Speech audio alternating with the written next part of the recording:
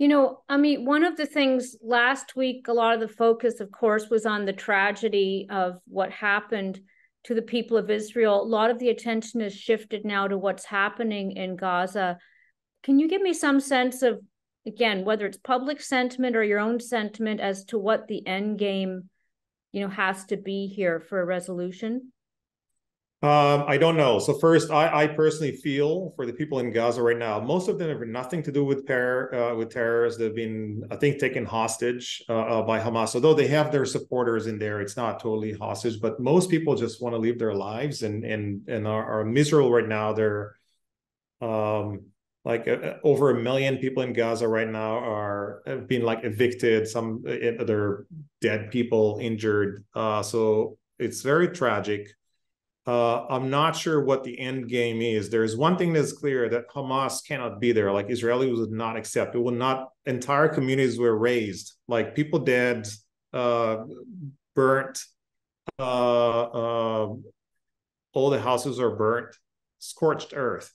So, mm-hmm. and, and for Israel to return, like Hamas cannot be there. They've proved that they're they're not kind of a, a pragmatist. They're they're ISIS, right? So it's like Al Qaeda. It's what happened in Bin Laden. That's the thing.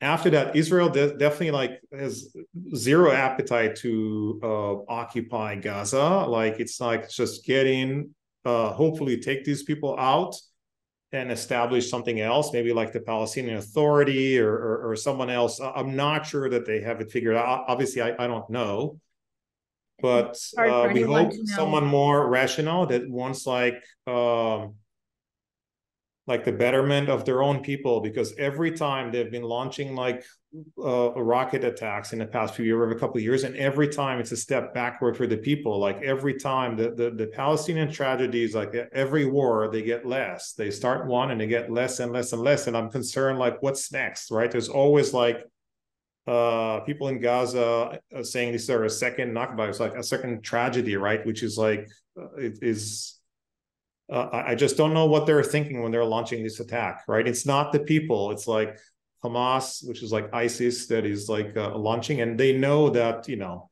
we're not going to send them flowers. Um, any other message that you have, Amit, especially to a global business audience that's now concerned about a wider regional conflict and the impact that's going to have at a time when there's other conflicts clearly going on in the world? See, my even my dog's upset. Um, yes, I, I, think we need to like take a zoom out and understand. You saw that you know the U.S. put like uh like sent like two aircraft carriers. The whole fleet is here, airplanes, supplies, uh, which is unprecedented.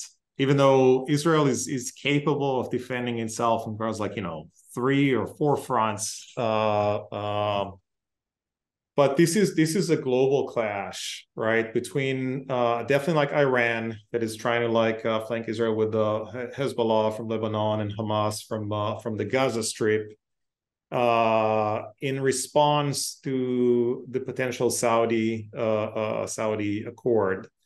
Some people say it's like maybe like China, Iran, and, and Russia like in the background. Although I don't think that they have initiated this, but this is kind of the axis of people. And that's like who control the Middle East with all the resources, like US uh, uh, or Russia, China, and Iran uh, that have been like uh, uh, making progress. It also like uh, um, detracts people from the issues in the Ukraine. So some people see it as just a continuation of the same thing that uh, a lot of people are paying the price for this right now. So people think this is a, a global um, war uh, between people who want like a, peace and people who just want to uh, um, start fires.